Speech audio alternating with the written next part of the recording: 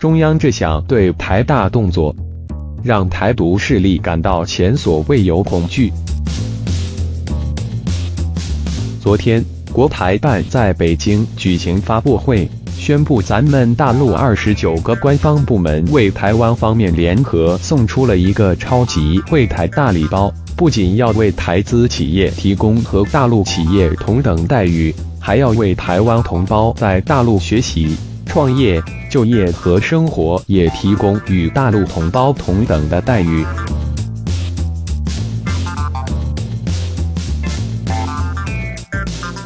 而大陆如此满满的诚意，也令台独分子感到了前所未有的恐惧。一些台独媒体更是已经被吓得在失控咆哮了。这些台独媒体中，症状最典型的当属《自由时报》。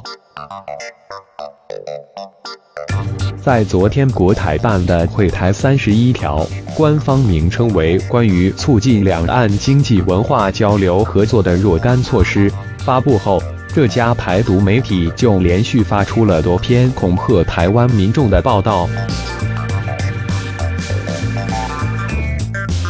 一会儿说这是大陆的糖衣炮弹，一会儿又警告台湾青年别被蒙骗，天下没有免费的午餐，云云。流露出一股股浓烈的弱者气息。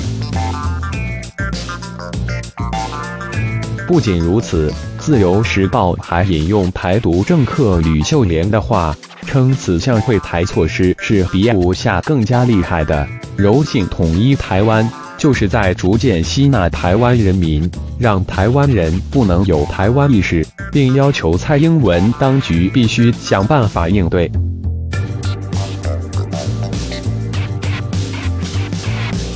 更魔幻的是，除了《自由时报》，还有一家台湾媒体也在跟住台独分子，对咱大陆的会台政策表达了强烈的否定情绪。可这家媒体居然是境外的邪教轮自公在台湾开设的大计愿网。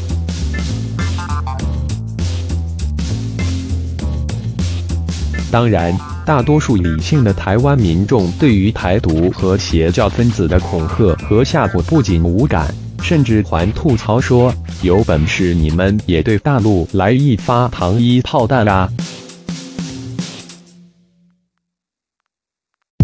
而台湾诸如《联合报》等媒体也在其报道中清楚地写道：“由于台湾两党不断政治内耗，台湾的经济一直原地踏步。”薪资更是二十年不变。反观大陆经济飞快成长，已有九省 GDP 超过台湾，就连台北的平均薪资去年也被北京超过，更别提大陆在很多高科技方面也领先于台湾。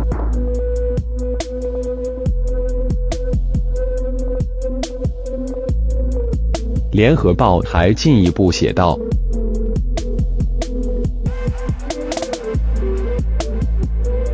然而，面对真正理性的台湾舆论的质问，台湾的陆委会目前给出的回应却是：这些只是口头承诺，会而不实罢了。